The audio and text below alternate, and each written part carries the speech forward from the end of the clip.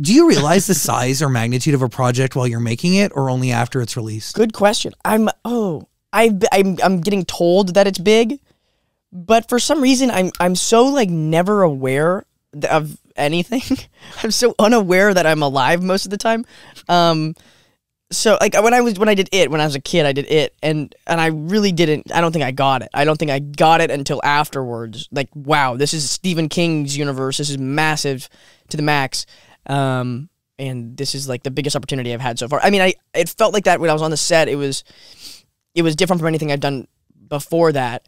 Um but I was not anticipating like th- all the response and all the reception. Even like it is for everything pretty So- much, but